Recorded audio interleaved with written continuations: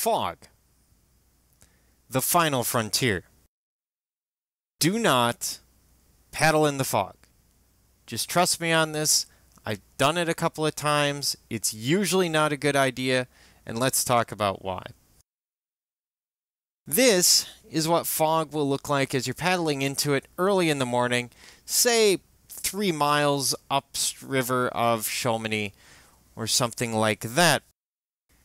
And it doesn't look that bad until you paddle into it and realize you can see things within 20 yards. Or in some cases, you may not be able to see the bow of your boat. And what's worse is fog will usually rise between 2 a.m. and 4 a.m. and continue just after daybreak, maybe until 7 or 8. And at night it looks roughly like, oh, this. This obviously isn't actually the river, but I'm trying to give you an idea of how bad it gets. You will not see anything. And the problem with fog is you will lose your orientation. You will not know if you're going upriver, downriver, across the current.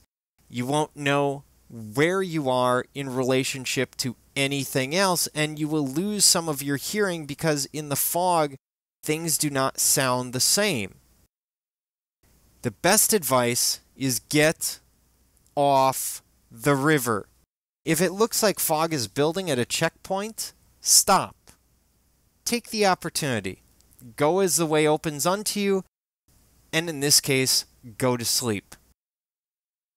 Fog can get incredibly bad on the Missouri. And you're thinking, well, hey, I've got this handy dandy Pro Paddler tool or GPS tool, which is going to tell me exactly where I need to be.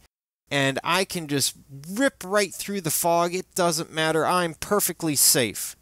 No offense to John Marble. Fantastic software. But it does not see certain things like barges. Okay, this isn't a barge. I get it. But you can see that the ship can see clearly where it is.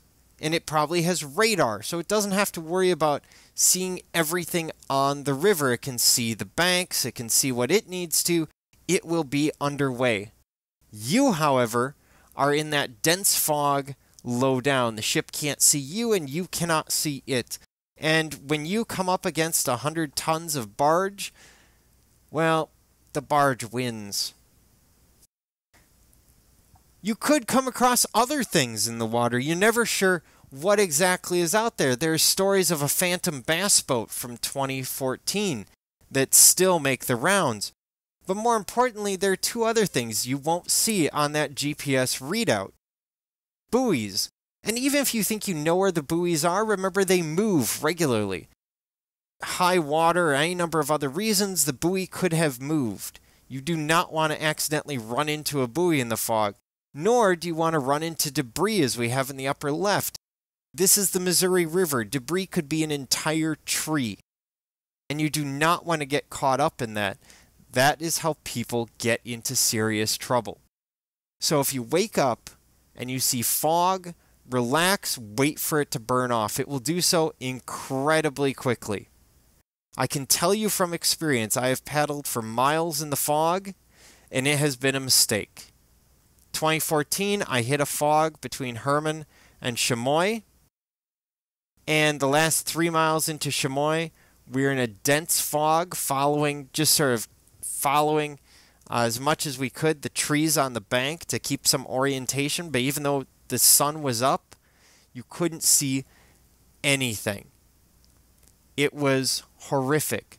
Don't do it. And fog at night is not something that you want to mess with.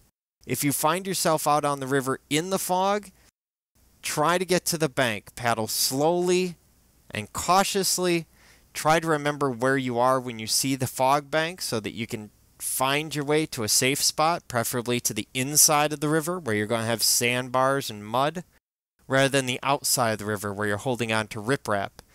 But find some shelter, pull out a space blanket, and go to sleep do not paddle in the fog.